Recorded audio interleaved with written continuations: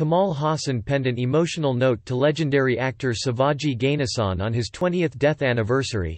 He shared two throwback photos with Sivaji Ganesan and spoke highly of his talent.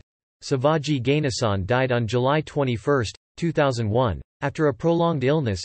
In several interviews, Kamal Haasan has spoken about the influence Sivaji Ganesan is celebrated as the Marlon Brando of South India. Having won several awards, Sivaji is considered a legend in the Indian film industry. On his 20th death anniversary, Sivaji Ganesan's fans and celebrities took to Twitter to remember him. Kamal Haasan, who considers Sivaji Ganesan as one of his mentors, took to social media to pay tribute to him. In one of the photos that the actor shared, Sivaji can be seen carrying little Kamal Haasan. Another photo shows Kamal Haasan and Sivaji talking to each other during the shooting of their iconic Thevar Magan.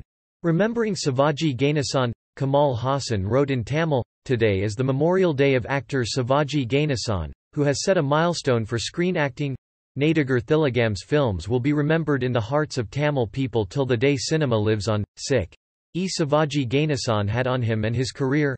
Sivaji Ganesan, who is fondly called Nadigar Thilagam by his fans, ruled the Tamil film industry for almost five decades. He had acted in nearly 288 films in Tamil, Telugu, Kannada, Malayalam and Hindi film industries. Sivaji Ganesan became the first Indian film personality to win a Best Actor award at an international film festival, the Afro-Asian Film Festival, in 1960.